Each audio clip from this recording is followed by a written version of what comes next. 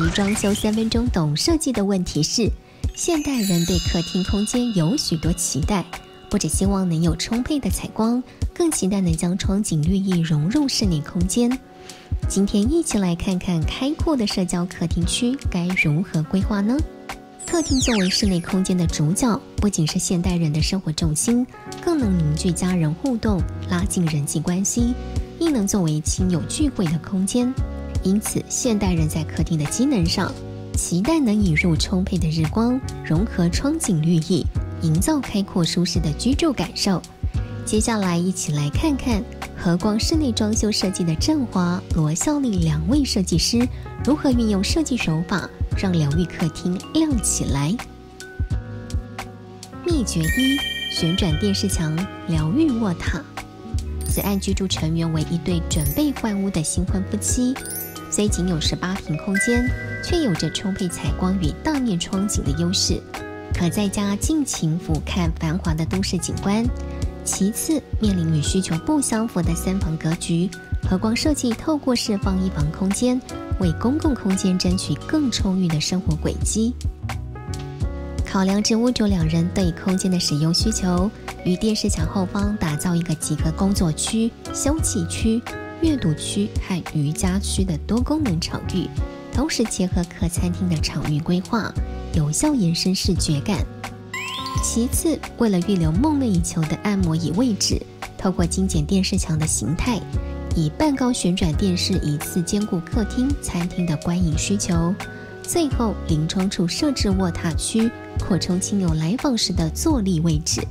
更在下方预留足够的收纳空间，同时延续卧榻的木质纹理，打造静谧的书桌台面。在凝聚家人情感的前提下，创造独立且开放的休憩公领域。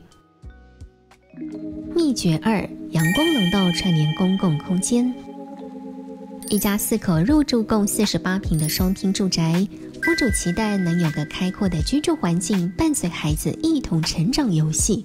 设计师透过缜密的格局改造，在小户格局上做大幅调整，规划出齐备的四房两厅机能，更创造了家庭主妇梦想中的开放式餐厨。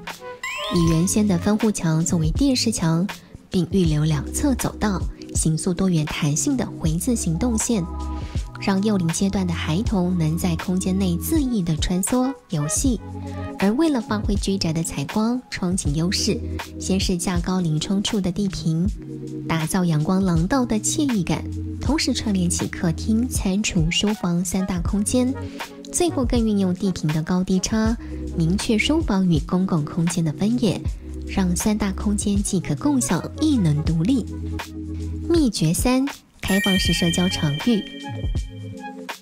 十九平新城屋原先空间不仅面临客厅狭长、厨房封闭、通风不良的窘况，更有着格局安排不符需求的状况。屋主夫妻俩期待能敞开餐厨空间，营造舒适开阔的居住感受。设计师选择舍去一房，并解放既定隔间，将三房改为两房，创造开放式的阅读书房。全开放式公领域，运用可移动式的家具软装区隔空间。客厅后方设置高低错落的展示书墙，让此处化身天然的居家端景。其次，为了让客厅与餐厨空间成为此案的生活重心，运用浅色赛丽石搭衬温润木质，以材质色彩巧妙串联电视墙与中岛台面。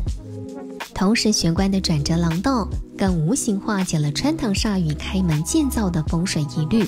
成就一所放松惬意的采光居宅。和光室内装修设计不仅与客厅空间融入每位屋主对于生活的期待，同时让生活环绕于阳光绿意中，运用格局规划与动线安排，形塑顺畅弹性的行走动线，给予每个家庭崭新的生活提案。